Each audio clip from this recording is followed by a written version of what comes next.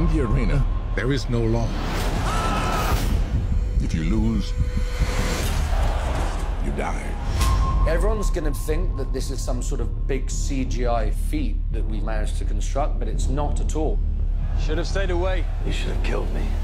I will.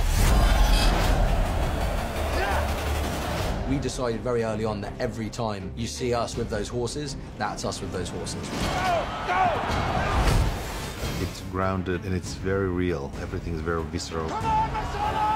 They've built a full track and we're actually pulling four real horses, not a chariot. It's scary. There is no airbags. There's no brakes. It's like today's NASCAR. People enjoying the speed, the tension, and most of all, when somebody will crash.